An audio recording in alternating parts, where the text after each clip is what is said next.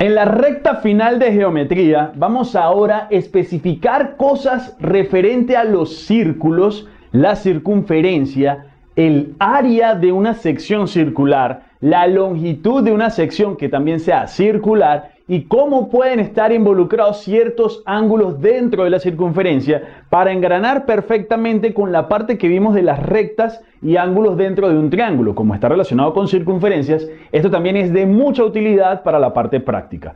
Sin más que agregar, empecemos.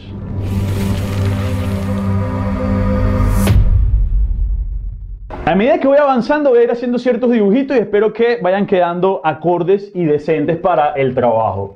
Para estar relacionando lo que sería la circunferencia, suponiendo que esta de acá sería nuestra circunferencia inicial con la que vamos a trabajar, aquí nosotros dijimos en videos anteriores que el área tiene una condición, ¿no? Que si el área del círculo ya sabemos que es pi por el radio al cuadrado y que la longitud de la circunferencia es 2pi por r. Esa condición, quiero acotar algo, esto es en el caso de que sea la circunferencia completa, es decir, que estamos hablando de 360 grados, que es lo mismo a trabajarlo como 2pi cuando hablamos en radianes, ¿te acuerdas? Entonces, así como vimos allá que hay una relación entre grados y radianes, aquí lo vamos a utilizar mucho. Si yo te digo a ti, mira, no, yo no quiero el área de la circunferencia completa, yo quiero el área de la mitad solamente. La mitad de la circunferencia, tendrías que dividir esto a la mitad. ¿Quedaría qué? Pi r cuadrado sobre 2.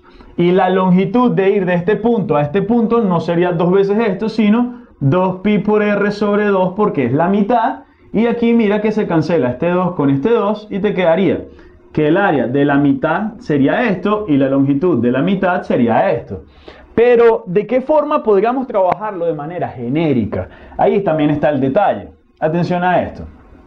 Si a ti te dicen, ahora estás comiendo una pizza y quieres la sección circular de lo que sería el área de esa sección circular de la pizza, de esa porción.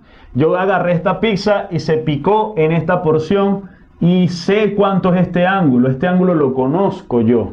Entonces, el área de cualquier sección circular, tú la puedes trabajar de la siguiente forma. Tú agarras el ángulo, lo multiplicas por el radio al cuadrado, porque el área está relacionada con el radio al cuadrado, pero el ángulo lo divides entre dos. Mira que no importa cuál sea la sección circular, si tú lo piensas así, el área siempre va a estar enfocada en ello. ¿Ok? Ahora bien, si yo te digo a ti, mira, eh, quiero el área la mitad de la pizza. El ángulo en la mitad es 180 grados. Aquí trabájalo con radianes, ¿ok? Aquí no vamos a trabajar con grados, sino con radianes. Mira que la expresión como está relacionada con pi, aquí se trabaja con radianes y estamos hablando de que esto es para 2pi en que sería la vuelta completa, 2pi radianes. Aquí, si es media vuelta, mira que sería pi por el radio al cuadrado dividido 2, que es lo que te dije ahorita que era entre la mitad. Ah, bueno, el ángulo en el círculo completo, ¿cuánto es? 2pi. Si tú pones aquí 2pi, 2pi por el radio al cuadrado entre 2, 2 con 2 se cancela y queda pi por el radio al cuadrado. Esta expresión es mucho más genérica que esta de acá. Porque estas, independientemente de la porción del círculo, tú vas a poder sacar el área de esa sección circular. ¿De acuerdo? Entonces, te invito a que tengas esto presente. Ahora, para la longitud, sí depende del ángulo. Tú haces la relación, puedes hacer hasta una regla de 3 si quieres. Si la longitud completa de la circunferencia pone cuando el ángulo es 360 grados, que es 2pi, da tanto, para 60 grados, que es pi tercio, ¿cuánto sería? Entonces la longitud simplemente la vas llevando por una relación, eh, digamos, de lo que es la longitud completa para una porción solamente, ¿ok?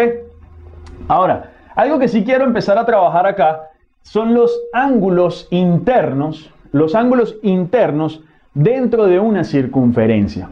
Asumiendo que este punto que está aquí es O, vamos a aprovechar este dibujo, ese ángulo que acabamos de marcar allí, si este es el centro, este ángulo que está aquí, vamos a marcarlo acá en rojo, es exactamente igual a la longitud que tendrías aquí al hacer este movimiento. De hecho, cuando hablamos de los radianes, cuando expliqué que era un radián, se utilizaba este concepto.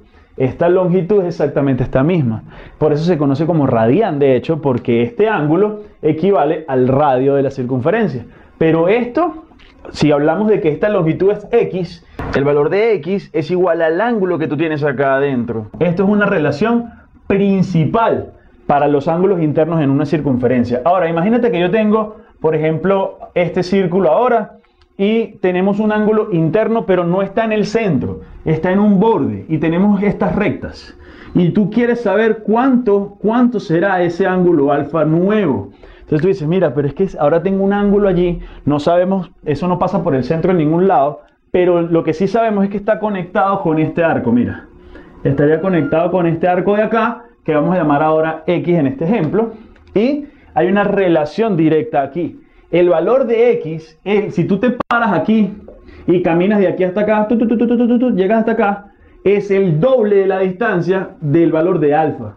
Ojo, el ángulo el vértice en este caso está montado sobre la circunferencia. El valor de x es igual a dos veces el valor de alfa y tendríamos una segunda condición. A partir de allí empezamos a mostrar ejemplos y situaciones para los círculos dentro de una circunferencia, para los ángulos dentro de una circunferencia. Ahí me enredé la lengua. Vamos a colocar otro círculo acá. Mira este tercero. Esto va a ser otro ejemplo sin pasar por el centro. Ojo, sin pasar por el centro, mira esto. Tienes esta recta y tienes esta otra. El centro estaría como por aquí, ¿cierto? Entonces eso no tiene nada que ver con el centro. En geometría, al principio, bueno, todavía estamos en geometría. Al principio, cuando hablamos de ángulos opuestos por el vértice, tú puedes concluir aquí, efectivamente, que este ángulo que acá, que es alfa, es exactamente este ángulo acá, que es alfa. Pero lo que no puedes decir es que este ángulo es igual a este arco, porque eso es solamente si estás en el centro. ¿Ok? Aquí este ángulo no es necesariamente igual al arco porque no está en el centro. Al igual de este lado, donde tenemos este arco aquí. ¿Ok? Ahora vamos a ponerle nombre a esto. Esto lo vamos a llamar X, esto lo vamos a llamar Y. El valor de alfa está conectado con esas longitudes de esos arcos. Eh, tiene una relación en particular y se le conoce como la semisuma. Cuando dice semisuma, es como el promedio entre las dos cantidades. Tú sumas las cantidades y lo divides entre dos. El valor de alfa, que no importa si piensas en el de la derecha o en el de la izquierda porque es el mismo, al final es, agarra esta longitud que es x, súmale esta otra longitud que es y, y a eso lo divides entre dos. Ese resultado, conociendo esto y conociendo esto, vas a tener quién es alfa. Entonces, hasta ahora tenemos tres situaciones para ángulos internos en una circunferencia. ¿Cómo se trabajaría? Y todos estos son longitudes. Ojo, no estamos trabajando con áreas, ¿ok? Entonces, pilas con eso. Y este, cuidado que lo del área de la sección circular, que te escribí hace un momento que era alfa medios por el radio al cuadrado, esa área de la porción de pizza, el slice, esa área de la sección circular aplica solamente para estos casos. Cuando el, vértice está en el centro de la circunferencia, cuando picas una pizza, por ejemplo, aquí ya no aplica. De hecho, este que está aquí, mira que puede verse como un caso particular de este que está acá. Mira que si este lo estiramos hasta acá y este lo estiramos hasta acá, ese ángulo alfa que tienes allí es igual a este ángulo alfa que tienes acá. Y este valor que está acá, entonces también debería ser x. Si hablamos de que alfa es la semisuma, trabajándolo así, pasando por el origen, mira que el valor de alfa, que es el ángulo, sería este más este, x más x sobre 2. ¿Sí o no? Semisuma. Pero si este valor es igual a este valor, x más x entre 2, mira que te queda 2x medios y te queda que es x. Alfa es igual a x, es lo que concluimos aquí arriba. Si pasa por el centro, esto es un caso particular de esto. ¿Sí? Entonces allí tendríamos ese tercer caso. Vamos a hacer aquí el cuarto caso, vamos a, tratar, vamos a hacer otro dibujito acá. El cuarto caso es si el ángulo está por fuera del círculo. Aquí todos hasta ahora están dentro del círculo. Si está por fuera del círculo sería algo así, mira. Viene por aquí y viene por acá. Ese ángulo fuera del círculo, tú lo puedes conseguir también. Vamos a llamarlo alfa. Ese ángulo que está por fuera del círculo, tú lo puedes conseguir. ¿Qué necesitas? Las longitudes de los arcos por donde ella cortó. ¿Cuáles? Este de acá, mira que si tú tienes esta longitud de acá, vamos a llamarlo X, y tienes esta longitud acá, que vamos a llamar Y, si tú tienes esas dos longitudes, consigues cuánto es este alfa. Para recordarlo de manera práctica es, si aquí el ángulo estando interno, estos dos arcos era la semisuma, aquí sería la semidiferencia, ¿ok? Aquí haces la diferencia y lo divides entre dos. Es decir, que ese ángulo alfa sería agarrar el valor de x y el valor de y restarla, el más grande menos el más pequeño, si haces la diferencia al revés el ángulo te queda negativo y no tendría sentido, el más grande menos el más pequeño y lo divides entre dos. De esa manera consigues así quién sería el valor de alfa. Entonces mira con esta situación, aquí no importa si, esto pasa por el centro, si no pasa, esto aplica en toda situación, ¿ok? Ahora, imagínate que una de estas rectas sea tangente a, a la circunferencia. Tangente es que toca la circunferencia en un solo punto. Vamos a ver otro caso. Si tú tienes, por ejemplo, acá esta circunferencia, ¿ok? Tienes esta circunferencia acá y tienes, por ejemplo, esta línea que es tangente, la toca en un solo punto y tienes esta línea que viene así, ¿de acuerdo?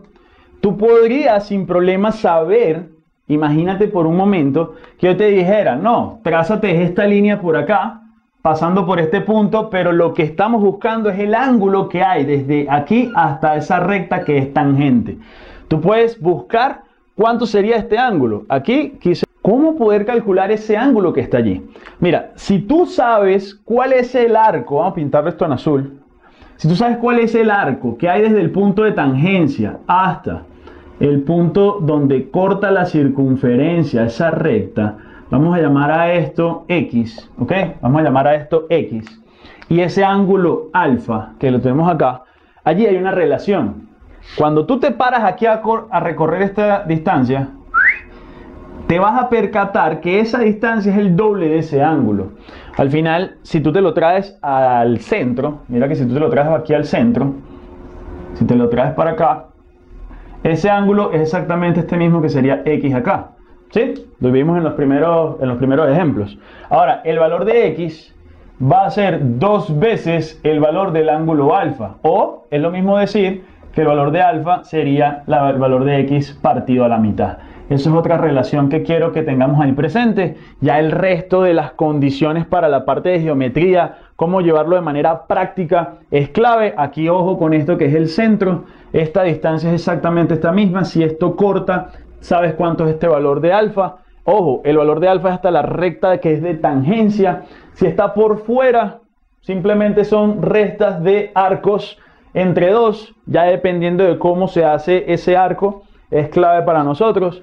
Ahora bien, mira que si está estando por fuera, por si acaso que lo había borrado, pero tú puedes trabajarlo así. Si está por fuera y quisiera saber cuánto es este ángulo que hay acá, ¿sí? Este ángulo que está acá que vamos a llamar ahora beta, los arcos que están involucrados, porque es tangente, sería de aquí a acá que es el azul, que es X, y de aquí a acá que es el rojo, que vamos a llamar Y.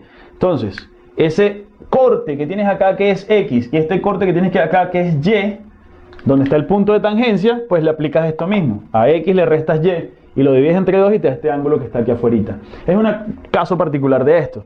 Ahora bien, mira que las condiciones para los círculos, o bueno, mejor dicho, los ángulos internos en una circunferencia están relacionados con geometría. Entonces la idea es que tú tengas claro a nivel geométrico lo que eran las rectas y puntos eh, notables en un triángulo, que si tienes el circuncentro, ortocentro y eso va cruzándose, ¿cómo puedes relacionarlo? En la parte práctica lo profundizamos, esto también lo vamos a necesitar en geometría analítica, cuando hablemos de la ecuación de la circunferencia, ya no vamos a dibujarle ya, sino que vamos a tener la ecuación de una circunferencia, las rectas tangentes a una circunferencia, esa recta cómo se puede trabajar y ya si lo conectamos con geometría, pues sabemos cuánto miden ciertos ángulos, va a ser un engranaje Perfecto. Con esto cerramos entonces el video de eh, lo que serían ángulos y longitudes, también áreas para en el caso de círculos, de todo lo que es la figura de la circunferencia, el borde, superficie es círculo, no se te olvide eso. Espero que te haya gustado, que haya quedado súper claro. Deja un comentario, deja un like, ahí lo que tú quieras va a ser positivo para nosotros porque de esa manera también nos estás apoyando, dejando ahí comentarios, suscribiéndote también, activando las notificaciones para estar pendiente de todas las publicaciones y en epsilonacademy.com la parte práctica. Espero entonces nos vemos en el próximo video, espero que te haya gustado. Chao.